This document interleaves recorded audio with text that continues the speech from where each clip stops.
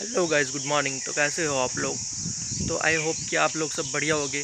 तो जैसे कि आपने थंबनेल में देखा कि हमारे बाइक का सस्पेंसर ख़राब हो चुका है ओके तो अब हम क्या कर सकते हैं ओके तो पूरा वीडियो देखना जिससे कि, कि आपको पता चल पाया कि अगर आपका भी बाइक का सस्पेंसर या कुछ भी ख़राब होता है ठीक है? तो आप क्या कर सकते हो? तो चलो वीडियो अपना स्टार्ट करते हैं। ये वाला अपना सस्पेंसर जो देख रहे हो ये ख़राब हो चुका है और यहाँ पे आप देख पा रहे हो कि ऑयल लीकेज हुआ है। ठीक है, देखो, ये ऑयल सस्पेंसर में से आ रहा है।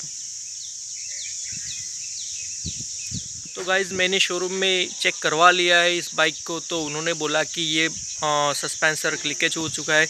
ये पूरा का पूरा पैर ही रिप्लेस करना पड़ेगा ठीक है? तो मैंने ऑर्डर भी करवा दिया है तो यानी कि जब भी पैर आएगी नहीं तो सामने से कॉल आ जाएगा और हम अपना ये बाइक का सस्पेंसर चेंज करवा देंगे ओके तो अगर आपके भी बाइक के साथ ऐसा कुछ होता है तो आप शोरूम में जाके चेक करवा सकते हैं अगर कॉस्ट की बात करो कि प्राइस कि क्या खर्चा आएगा ओके तो इसमें बाइक की गारंटी वारंटी आती है ठीक है? तो जिसमें ये आ, शायद फ्री ऑफ़ कॉस्ट हो जाएगा लेकिन देखते हैं कि शोरूम में जाके चेंज करवाने के बाद ओके तो नेक्स्ट वीडियो देखने के लिए इस चैनल को सब्सक्राइब करना मत भूलिएगा। तो गाइज़ आप देख पा रहे हो पीछे बंदर है जो हमारी बाइक पे बैठ चुका है तो आपको कैसा लगा ये बंदर? वीडियो में कमेंट गाइज़ अगर आपको ये वीडियो पसंद आया तो इस वीडियो को लाइक करना शेयर करना और आपके बाइक में भी कोई दिक्कत रहती है तो कमेंट बॉक्स में ज़रूर बताना ओके तो चलो मिलते हैं नेक्स्ट वीडियो में।